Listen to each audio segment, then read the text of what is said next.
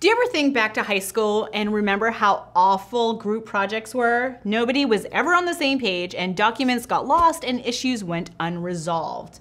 Fortunately, now we have groundbreaking innovations that fix all these issues and then some, including the most user-friendly online experience for managing any type of project in today's product showcase.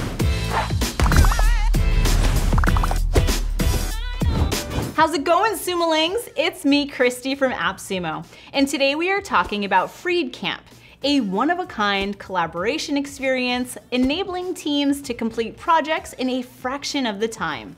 What sets Freedcamp apart from the rest is the option to fully customize your platform, so you can install only the tools your team actually uses. Clutter be gone. But before I break down how to use Freedcamp, make sure you hit that subscribe button and ring that bell so you're always notified of an AppSumo deal.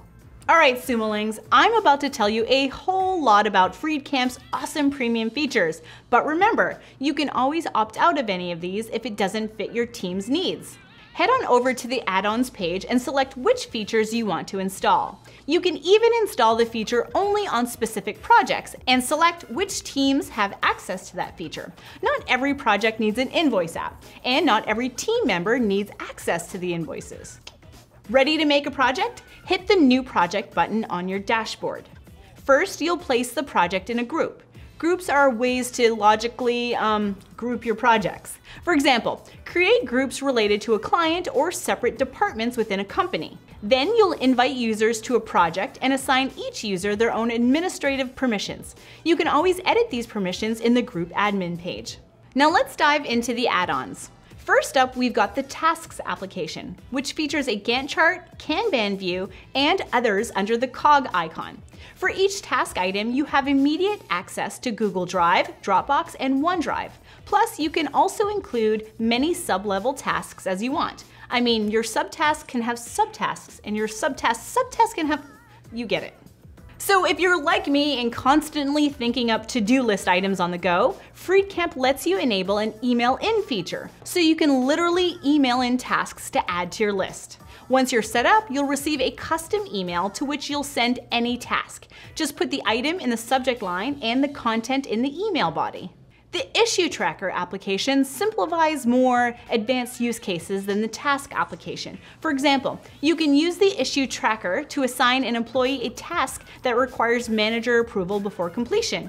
Or you can get an embeddable report form so your website visitors can submit feedback.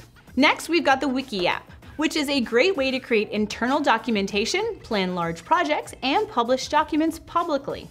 Wiki documents allow you to create feature-rich content using images, tabular data, and more.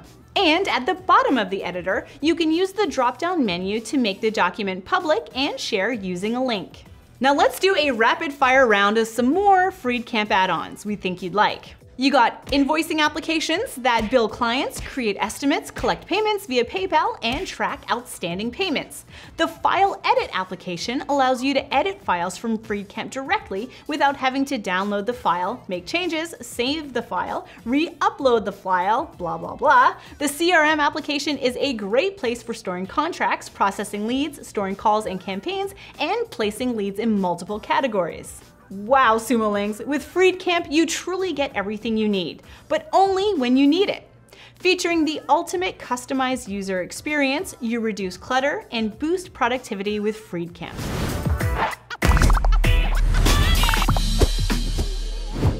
All right, Sumolings, I'm about, uh, let me try it again. Yeah, maybe, yeah.